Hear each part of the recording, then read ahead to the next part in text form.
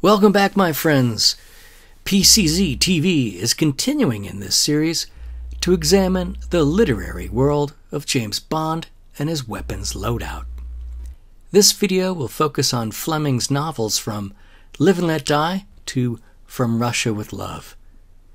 Pre Boothroyd Fleming is not always entirely clear on what the actual kit is, so there will be lots of speculation. Stay tuned with PCZ TV as we dive into literary Bond.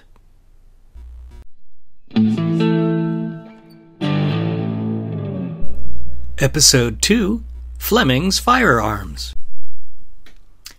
In the last video, we examined in detail Ian Fleming, his background, the impact of the era he wrote in, and his expertise vis a vis firearms. We also did a deep dive into the Beretta, Bond's primary sidearm of this era.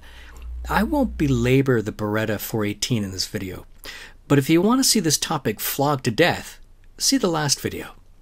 Instead, we'll focus this video on the pre Boothroyd era. Fleming started to rely on Boothroyd for firearms expertise, starting with Dr. No, so it makes sense to look at Fleming's firearms as a standalone. We'll start off with Live and Let Die. In the novel, it's Beretta, Beretta, Beretta, blah, blah, blah. It's not until chapter 8 that Bond handles anything other than the Beretta. And it's a Colt detective special with a sawn barrel. In my last video, I speculated Bond's sawn Colt was a banker special. Why? Uh, because they were chambered in a 38 caliber round that was also the British military's standard cartridge, the 38 Smith & Wesson, also known as the 38 Colt New Police.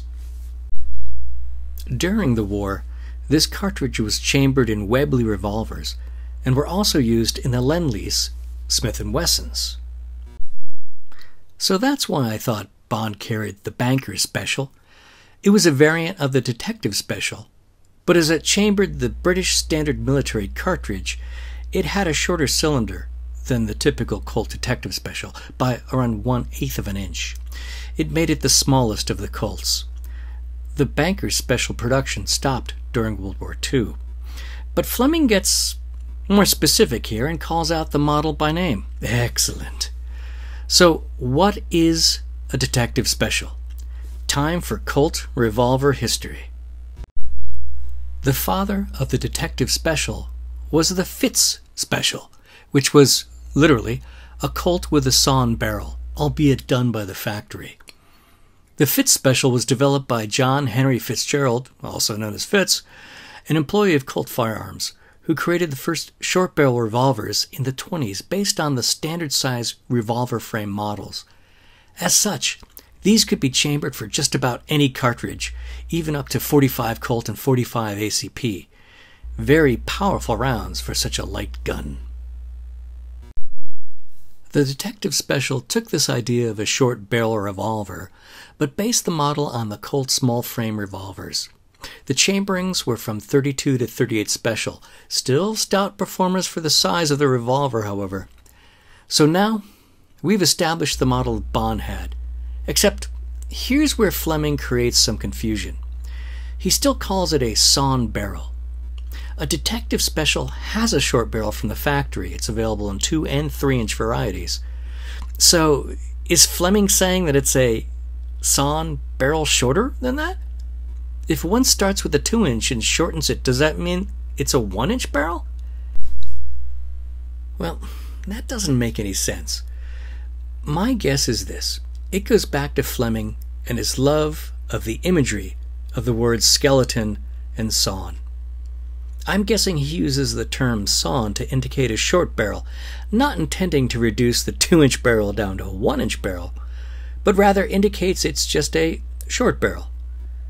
Unless, of course, he literally took a larger Colt and sawn down the barrel, but it wouldn't be called a detective special then. In the US, these short barrel revolvers are typically known as stub nose or snubbies. Perhaps Fleming just preferred the term sawn over snubnose. Ah, I'm open for ideas, thoughts? Leave them in the comments. Let's move on. The final firearm mentioned in the novel is the one used by the baddie. He was cleaning a rifle that looked to Bond like a Remington 30. The Remington Model 30 is a rifle of the interwar period based on the military P 14 Enfield rifle action. It's a bolt action rifle offered in eight different calibers with a five round magazine.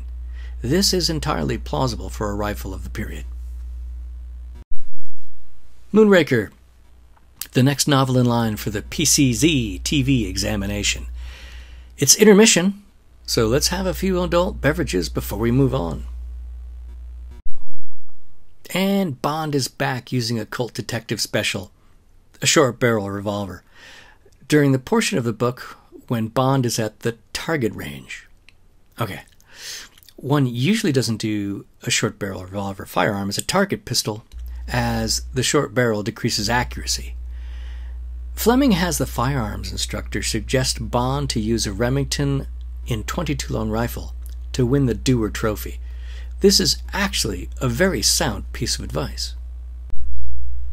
The Olympic Games, for instance, use both air pistols and 22 LR pistols in some of their competitions. The 22s themselves are small caliber, long barrel guns.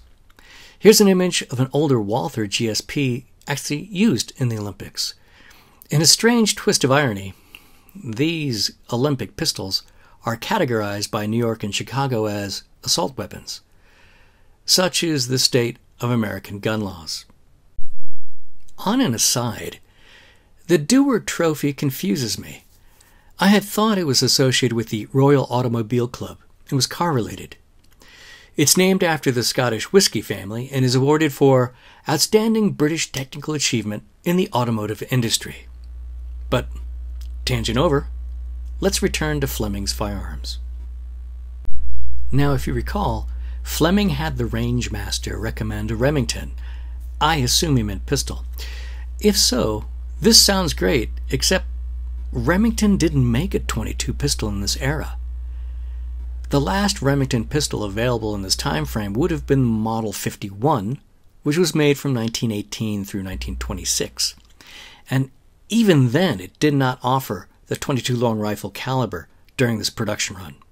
It was only offered in 32 and 380. Do you intend to suggest a rifle? Uh, it's not clear to me.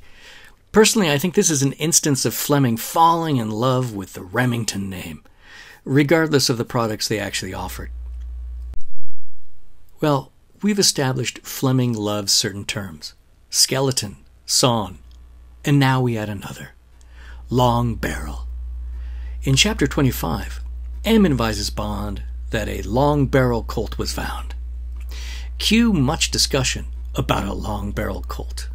Fleming has shown quite a liking to the Colt Police Positive, so it's natural to assume that this references to a long barrel revolver, such as the Police Positive. In one of the few cases where we'll cheat and look ahead in the novels, we see that in a later short story in the For Your Eyes Only compilation, specifically the short story From a View to, to a Kill. Fleming indicates that this weapon has a safety catch. American revolvers do not have safety catches. So, what is a long barrel Colt? And here's where PCZ TV will speculate. Given that the standard barrel is 4 inch on a revolver, one can guess that anything larger than that must be a long barrel. Well, what has a barrel longer than 4 inch, a safety catch, and is made by Colt? So here's the possible answer. Is Fleming referring to the 5 inch barrel of a Colt automatic? It has the long barrel and a safety catch and is a Colt. I would argue that this is the most famous automatic ever made, the quintessential Model 1911. It seems to fit the bill. Although the 1911 is not typically referred to as a long barrel Colt, I think calling it a 45 is probably more typical. But I think this is Fleming just relying on his vague sort of firearms knowledge and trying to describe them in cool ways. Or perhaps uh, Fleming just meant a long barrel revolver during this period of his writing. Hard to know, but this is my best guess. Either way, long barrel revolver or 1911, they're both excellent choices. Next up is 1956's Diamonds Are Forever. Mainly Beretta mentions again, including Chapter 6, where he ran his hand down the blue barrel, from the tip of which he had personally sawn the blunt foresight. Note the use of sawn again. And, well, frankly, some weird imagery going on from Mr. Fleming. Awkward. Let's move on. Quickly. In Chapter 14, Bond describes some of the baddies' guns. 45 might have been a Colt. As we've speculated earlier, this could mean either a 1911 or a Colt revolver. Unclear. The other gent was carrying a 38 police positive. Again, quite a common gun in the world of Fleming. The police positive gets seen again in Chapter 19. After that, lots of generic gun descriptions, such as in Chapter 19, where all we know about them is from the description of full Western regalia and ivory gripped revolvers. Well, this sounds like the classic cowboy gun, the Colt Peacemaker, the gun that won the Western movie. Big old single action pistols, they look great and are classics of the genre. Now, I wouldn't choose one for modern situations but they still work great and they shoot a variety of cartridges. Given Fleming is probably familiar with Hollywood cowboy movies, it makes sense that he means this revolver, but that's just my guess. The next bit of kit is the biggest bang of them all. I'm not entirely sure if the truck pulled the anti aircraft gun or if it was mounted. But either way, a Bofors refers to the Bofors 40mm automatic gun L60. It's an anti aircraft autocannon designed in the 1930s by the Swedish arms manufacturer AB Bofors. And 40mm, yes, 40mm, you heard that right. The round is huge. This is a very big bullet indeed.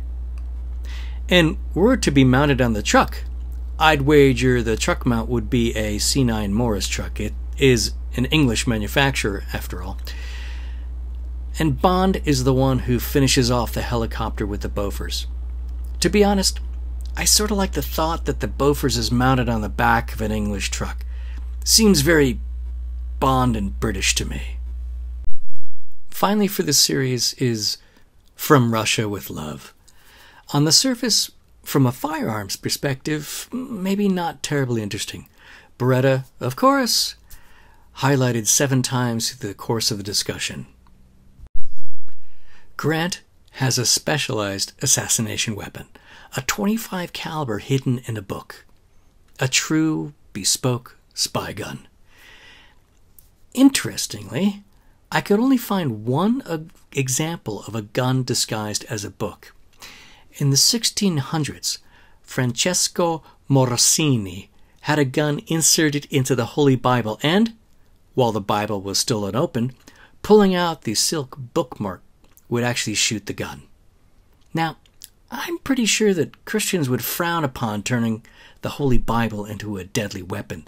Seems somewhat sacrilegious. For more information on this weapon, check the link in the description below. Now, Kerim also has a unique weapon a bespoke sniper rifle. Barrel from the new 88 Winchester, put together for me by a man in Ankara. Fleming sure loves his lever guns. The Model 88 was introduced in 1955, just a few years before From Russia with Love was published, so it's still a very modern contemporary firearm. The Model 88 was advertised along with the then new 308 Winchester cartridge as the world's first and only lever action hunting rifle with target rifle accuracy. And speaking of new, the 308 Winchester is a full power rifle cartridge. It was unveiled to the commercial market in 1952, developed from the 300 Savage cartridge and designed to give comparable performance to the 30-06 Springfield, but in a shorter cartridge case. It is essentially the 7.62 by 51 millimeter NATO cartridge. Oh, but wait, there's more. This cool modified toy also has a sniper scope, German model, infrared lens. Okay, this one has me stumped. While the British had some infrared scopes in World War II, by the time of the Korean War, the British were using night vision equipment supplied by the United States. This would be the M1 or the M3 infrared night sighting devices, the sniper scope or snooper scope, uh, which saw limited service in the U.S. Army at the end of World War II and in the Korean War. These were active devices using a large infrared light source to illuminate their targets. These things weighed a ton.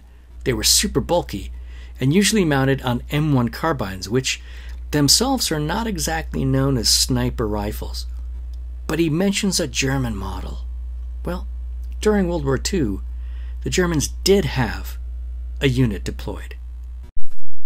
The ZG 1229 Vampyr was an active infrared device developed for the Wehrmacht for the STG 44 assault rifle. It was intended primarily for night use, as one would expect. It was used in small numbers on the Eastern Front.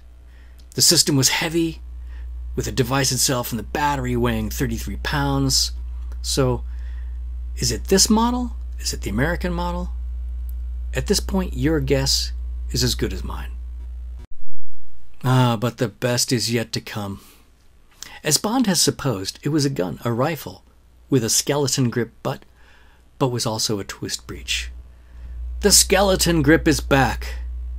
Skeletons, ah, my closet is full of them, and Fleming just loves the term. Now, putting that skeleton back in the closet, the other notable mention is a twist breech. These are not common actions. And as this is a custom build, well, the designer is free to use any action he wants. Now, I wasn't familiar with his action, so the best description I found was about, appropriately enough, custom rifles. Link in the description. They explain the function this way. To open the action and expose the chambers for loading, twist the barrels a quarter turn to the right. This engages, or excuse me, disengages the two massive locking lugs. Push forward about a quarter inch to expose the plate, and the barrel's now hinged down. Why is the big question. According to the designer, it's simplicity and durability. A traditional break action pivots down below an axis of bore, so when you fire, it gets a lot of pressure and stress in different areas. Traditional rifle actions create stress, which is literally trying to rip itself apart. None of this happens in the twist breech because the locking lugs are directly in line with the chambers, rigidly and evenly connecting breech and barrels. Or at least so the designer says. Well, this is interesting, but I'm not sure why you would need it on a 308. But there you go.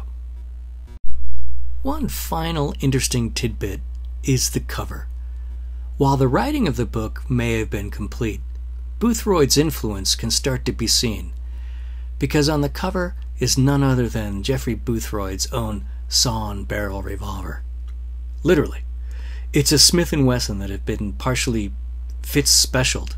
Is that a word? In other words, shortened. The Royal Armories, link in the description, has a page dedicated to this particular Smith & Wesson M&P, military police aka Model 10. It has been argued that Boothroyd's revolver is inspired by the Fitz, and I think you can see it readily. Boothroyd didn't completely copy all features, however, as he retained the hammer spur and added target sights. And not being an employee of Colt, Boothroyd was free to choose the brands, and he chose a Smith & Wesson revolver. Ultimately, it's a pretty cool conversion. I suppose you could argue it's a Boothroyd special, but for the life of me, I'm not sure why he didn't just get a Smith & Wesson Model 10 with a short barrel.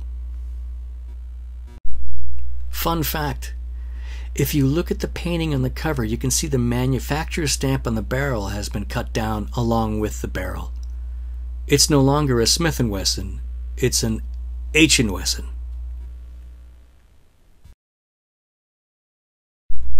Congratulations! You've made it this far.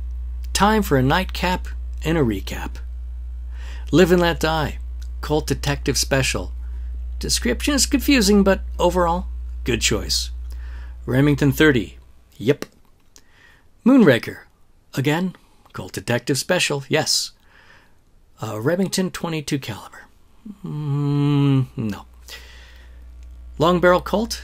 I say 1911. I say yes. Diamonds Are Forever. 38 Police Positive. Solid choice. Colt Peacemaker. Classic. Bofors. If you really have to shoot down a helicopter, you can't really argue with that choice. From Russia with Love. 25 book gun. Eh, sure. It's a, it's a spy thing. Bespoke Turkish made rifle with German infrared scopes. Sounds nifty. Sure. I'm just glad it has a skeleton grip. And then Boothroyd Smith & Wesson. Interesting modification choices, but still very functional. So there you have it. The pre-Boothroyd era comes to a close. Fleming's descriptions are, in some cases, cryptic. In the next video, we'll dive into the post Boothroyd Bond sagas and see what, if any, influence Geoffrey Boothroyd had on Bond, as well as looking at the influence the movies started to have on the novels. Until then, cheers. Bye!